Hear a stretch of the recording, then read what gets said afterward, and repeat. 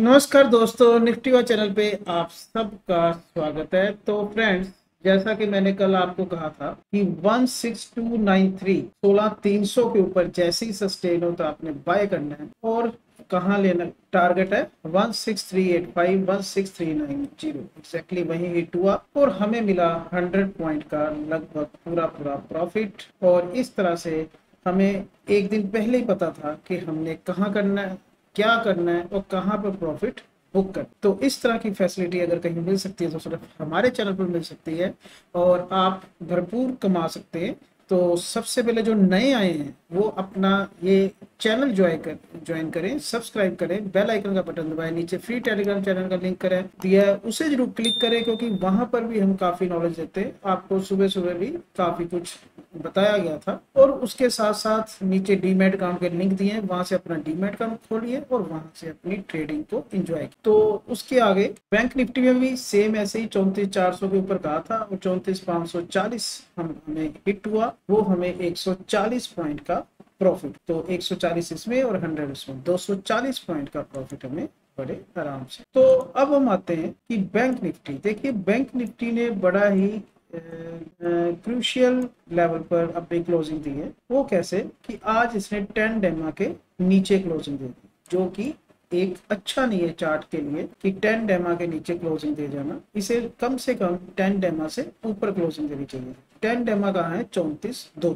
आज देखिए, जहाँ पर इसका जो रेजिस्टेंस था, उससे पहले ही थोड़ा इसमें प्रॉफिट बुकिंग आ गई, वो क्यों आ गई? वो इसलिए आ गई कि निफ्टी में देखिए, मैंने एक चीज़ आपको पहले भी दिखाई थी, ये देखिए 9 मई की क्लोजिंग 410 10 मई की क्लोजिंग 410 और उसके बाद आज जो उसमें फिर से क्लोजिंग आई, वही हाई लगा 400 के आसपास। तो यही कारण है कि यहाँ से फिर प्रॉफिट बुकिंग आ गई, और यहीं पर मैंने तभी ये लेवल लगाया हुआ था कि यहाँ से प्रॉफिट बुकिंग आनी है तो यहाँ पर अपना प्रॉफिट बुक कर तो इस तरह से अभी इसको, इस, ये रेजिस्टेंस फील कर रही है, उस तरीक का 10 मई और 9 मई का। 9 मई और 10 मई को जो दो दिन क्लोजिंग दी है, उसकी वजह से जो निफ्टी में प्रॉफिट बुकिंग आई है, उसका असर बैंक निफ्टी पे पड़ा। उसका असर बैंक निफ्टी पे ऐसे पड़ा कि हालाँकि बैंक निफ्टी अपने फाइनल डेस्टिनेशन से दूर थी, पर वहाँ से पहले ही गिर गई और नीचे टेन डेमा के नीचे क्लोजिंग दे दी।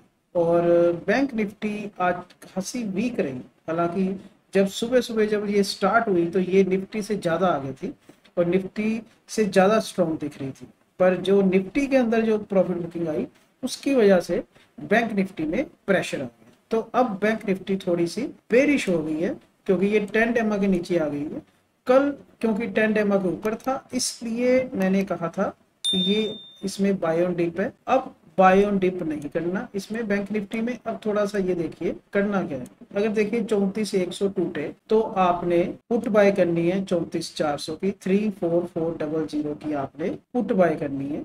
अगर three four one double zero के नीचे जाए तो अगला टारगेट रहेगा double three nine double nine four तैतीस हज़ार नौ सौ चौरानवे double three double nine four double three eight zero six double three six four zero और जैसे ही ये आए तैतीस पाँच सौ से तैतीस सात सौ double three five double zero two double three seven double zero यहाँ पर आपने कॉल बाय करनी है double three five double zero की सी ई लेनी है, तैतीस पाँच सौ की सी ई स्टॉप लॉस आपने रखना है तैतीस, चार सौ का हंड्रेड पॉइंट का।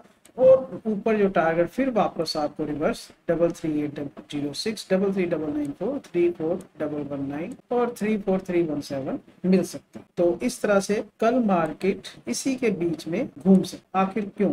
ऐसा क्यों हो गया? ये देखिए, इसमें देखिए। इस टाइम डाउ फ्यूचर देखिए 204 पॉइंट नीचे। और जो सिंगापुर निफ्टी है, वो आ चुकी है 16 200 क्यों हुआ ऐसा? क्योंकि ब्रिटेन का अभी अभी इन्फ्लेशन डाटा आया है और वो आया है नाइन परसेंट जी हाँ अमेरिका से भी ज़्यादा। अमेरिका का आया था एट पॉइंट थ्री और ये तो आया नाइन परसेंट उसके बावजूद कि इन्होंने काफ़ी ज़्यादा इंटरेस्ट रेट बढ़ाया था। इसने पूरे वर्ल्ड में सबसे ज़्यादा इंटरेस्ट रेट बढ़ाने वाला यही था। इसने तो कई इंटरेस्ट रेट बढ़ा दिए ये पचास पचास नहीं इसने सेवेंटी फाइव वन परसेंट भी बढ़ाया इसने। उसके बावजूद इतनी ज़्यादा महँगाई असल में इत, इसकी महँगाई इसलिए ज़्यादा हो रही है क्योंकि वहाँ पर पेट्रोल और गैस मिल नहीं रहा। पेट्रोल, डीजल, गैस बिल्कुल नहीं मिल रहा यूरोप के अंदर, क्योंकि यूरोप के अंदर जो पाइप के रास्ते से रशिया का तेल और गैस आता था, इन्होंने खुद ही बैन लगा दिया कि हम नहीं लेंगे। तो उसकी वजह से अमेरिका के पीछे लग के ये खुद ही अपने आप को बर्बाद कर रहे हैं। तो इनकी इन्फ्लेशन इतनी ज़्यादा हाई हो गई है कि पूरे वर्ल्ड मार्केट पर प्रेशर पड़ गया इस टाइम तो जिस टाइम ये वीडियो बना रहे हैं तो काफ़ी प्रेशर में हम तो अगर ये प्रेशर ऐसे ही मेंटेन रहा और डाउ ऐसे ही नीचे रहा तो बैंक निफ्टी को भी ये नीचे खींच कर ले जाए। तो इसलिए क्यों? दूसरी चीज़ ये है कि क्रूड फिर से हाई होने लगा है 114 पर। और ये पिछला जो लेवल था, उसको क्रॉस कर रहा है। वन वन एक सौ तेरह पॉइंट ये लेवल था। 113.34 अब आ गया 113.52 मतलब इसके ऊपर ब्रेकआउट आने वाला है।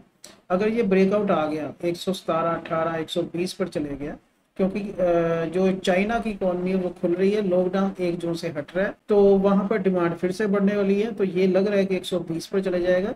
यही कारण है कि बैंक निफ्टी पे पूरा पूरा प्रेशर और ये बैंक निफ्टी ही निफ्टी को भी नीचे खींचकर लेकर जा सकते। तो अभी फ़िलहाल आपने जो बताया है हाँ दूसरी चीज़, अगर मान लीजिए गैप ऑफ़ ओपनिंग हो तो आपने कॉल तभी बाय करनी है। ध्यान रखना कि यहाँ पर इस एरिया में काफ़ी स्ट्रॉन्ग रेजिस्टेंस है। तो यहाँ पर आपने कोई बाइंग नहीं करनी। आपने कॉल तभी बाय करनी है अगर three four eight five zero चौंतीस, आठ सौ पचास के ऊपर सस्टेन हो 50 मिनट कैंडल क्लोज हो, तब आपने 34700 की कॉल 34700 के स्टॉप लॉस के साथ आपने बाय करनी है कॉल और जो ऊपर आपका पहला टारगेट रहेगा, वो रहेगा three five zero two six three four nine double four ये क्या है? Three four nine double four है two twenty M twenty day exponential moving average ये है आपका पहला टारगेट उसके बाद three five zero two zero और three five three nine three five three nine zero. और जिस हिसाब से पूरे वर्ल्ड का इस टाइम हाल चल रहा है कि कोई ना कोई डाटा आता ही जा रहा है और उसकी वजह से फिर से प्रेशर क्रिएट हो जाता है तो ऐसे लगता है कि अब बैंक निफ्टी के लिए इसके ऊपर जाना थोड़ा सा मुश्किल होता चला जाएगा। और क्योंकि अब थोड़ी देर में कनेडा के भी आएँगे रिज़ल्ट और देखते हैं उसके क्या आते हैं इन्फ्लेशन के डाटा अभी और भी कई देशों के इन्फ्लेशन डाटा आने हैं तो उसका प्रेशर भी फिर से इंक्रीज हो सकता है। तो ये है बैंक निफ्टी का सारा ब्यौरा। एक चीज़ मैंने और बता दूँ कि अगर मान लीजिए double three four double zero तोड़ दिया बैंक निफ्टी ने तो double three seven double zero की कॉल लेनी है और स्टॉप लॉस आपने जो लगाना है, वो double three six double zero का लगाना है और जो टारगेट है three two nine six zero और three two five double three देखिए, ये सारे target stop loss return form में हमारा जो YouTube पे शॉर्ट आता है, उसे देखिए कीजिए। तो वहाँ पर रिटर्न फॉर्म में सारे लेवल्स सारे स्टॉप लॉस और सारे टारगेट लिखे होते हैं। तो आप चाहें वहाँ पर भी जा सकते हैं, पर यहाँ पर हम समझाते हैं सारा कुछ कि क्या, क्यों और कैसे। और वहाँ पर ये जो लेवल मैं बता रहा हूँ वैसे तो आप स्क्रीनशॉट लीजिए, आपको इससे ज़्यादा पता चलेगा। क्यों? ये जो ग्रीन लाइन है, ये स्पोर्ट होती है, और ये ब्लैक लाइन ग्रीन लाइन के नीचे जो मैंने लगाई होती है, वो होता है स्टॉप लॉस और ऊपर के जो टारगेट होते हैं, ये होते हैं माइनर रेजिस्टेंस और जो रेड किया होता है, वो है स्ट्रॉन्ग रेजिस्टेंस ये हमेशा याद, जो नए दर्शक आए हैं, उनके लिए मैंने ये चीज़ समझाई। पुराने जो दर्शक है, उन्हें पता है कि किस हिसाब से ये रेड ग्रीन और ब्लैक लाइंस लगी हैं। अब हम आते हैं स्टॉक्स पर। देखिए स्टॉक्स पहला स्टॉक था नेशनल अल्मोनियम 96 पर बाय किया एग्जैक्टली exactly 97.8 हिट हुआ। तो इसमें हमें वन पॉइंट का प्रॉफिट हुआ। दूसरा था कोरोमंडल इंटरनेशनल ये हमने नाइन फोर्टी एट पे बाय किया और 942 हमारा स्टॉप लॉस हिट हो गया। सिक्स पॉइंट का इसमें से लॉस हो गया हमें और अपोलो टायर ये टू वन थ्री पर हमने बाय किया। टू वन एट इसका टारगेट हिट हो गया और फाइव पॉइंट का इसमें प्रॉफिट हो गया। तो इस तरह से कुल मिलाकर हमें नो प्रॉफिट नो लॉस पर यह मामला खत्म तो कल के लिए जो हम एक जो स्टॉक लगाए, लेकर आए उसमें सिर्फ़ मैं एक ही स्टॉक लेकर आया हूँ, क्योंकि कल मुझे लग रहा है कि काफ़ी ज़्यादा वोल्टेलिटी रहेगी, क्योंकि कल थर्सडे भी है, ऊपर से मार्केट का मूड भी खराब हो रहा है डाउ फ्यूचर माइनस है तो इस तरह से एक ही स्टॉक बेस्ट रहेगा। इसमें ये है पेट्रोनेट पेट्रोनेट ने बहुत ही अच्छा ब्रेकआउट दिया है चार्ट पर, ये देखिए, कितनी अच्छी बुल कैंडल बनाई है और उसके साथ साथ ये 200 डेमा के ऊपर इसने क्लोजिंग दी है। 200 डेमा 10 डेमा से कहीं ज़्यादा मज़बूत होता है तो इसलिए 220 तक कोई भी डिप हो तो आपने बाय करना है 218 200 डेमा के नीचे स्टॉप लॉस रखना है टारगेट 227 237 243 250 और 254 तक के आपको मिल सकते हैं। अब हम आते हैं निफ्टी पर।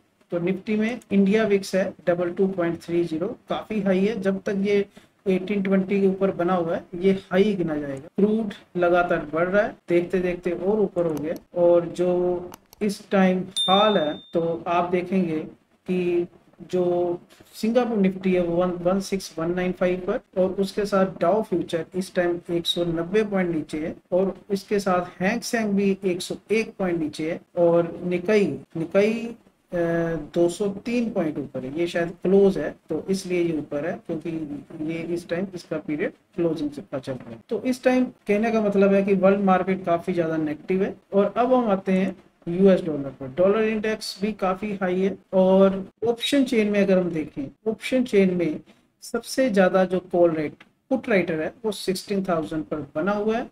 तो 16,000 एक स्ट्रॉन्ग स्पोर्ट अभी भी है और 16,200 पर भी एक स्ट्रॉन्ग स्पोर्ट है, क्योंकि अब 50 लाख पुट राइटर यहाँ पर हो चुके हैं। और अगर कॉल राइटर देखें तो यहाँ पर 40 लाख और ऊपर की ओर अगर देखें तो जो स्ट्रॉन्ग रेजिस्टेंस है, काफ़ी स्ट्रॉन्ग रेजिस्टेंस सोलह पाँच सौ है सिक्सटीन थाउज़ेंड फाइव हंड्रेड और नीचे सिक्सटीन थाउज़ेंड थ्री हंड्रेड पर भी काफ़ी स्ट्रॉन्ग रेजिस्टेंस अब क्रिएट हो चुका है।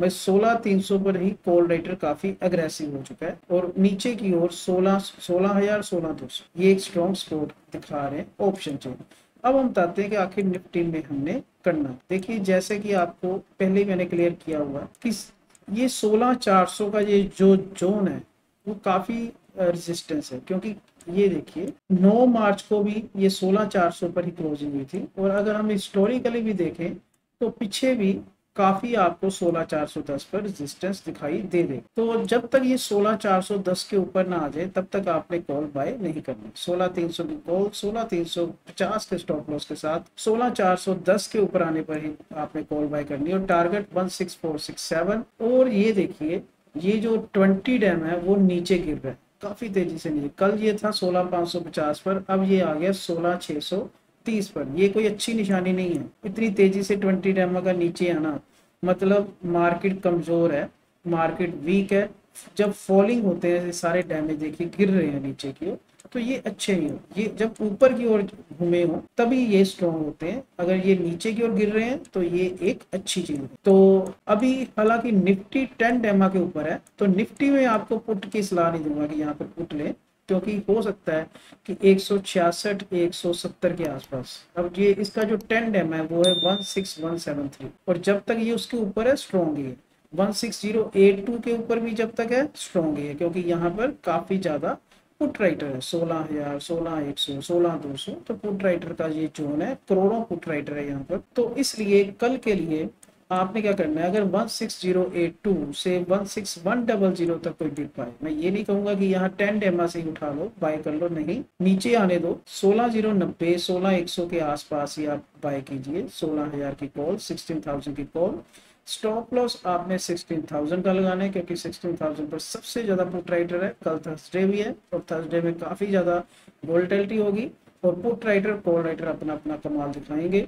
और कल जो टारगेट रहेंगे आपके one six one double six उसके बाद one six two double one और one six two two seven और एक बात, अगर सोलह दो सौ नब्बे के ऊपर आए निफ्टी तो आपने कॉल बाय करनी है। वो भी अगर सोलह तीन सौ के ऊपर जाए, एक चीज़ का ध्यान रखना, क्योंकि सोलह तीन सौ पर कॉल राइटर ज़्यादा है, ये ट्रेड थोड़ी सी रिस्की रहेगी। ये ट्रेड सिर्फ़ वही ले जो रिस्क ले सकते हैं, जिनके पास पैसा ज़्यादा है कैपिटल काफ़ी है, वरना बिल्कुल भी यहाँ पर ट्रेड मत ले, क्योंकि यहाँ पर ट्रेड रिस्की रहेगी, क्योंकि सोलह तीन सौ पर कॉल रेटर काफ़ी ज़्यादा आ चुका है, और मेरी तो वैसे सलाह यही है कि यहाँ पर बिल्कुल मत ले। हाँ टेक्निकली सोलह तीन सौ के ऊपर कॉल बनती है तो ले सकते हैं तो ले लेना, वैसे ना लो तो ज़्यादा अच्छी बात है, और one six four double zero के one six four one zero के ऊपर आए निफ्टी, तभी कॉल लेनी है, वैसे कॉल नहीं लेनी।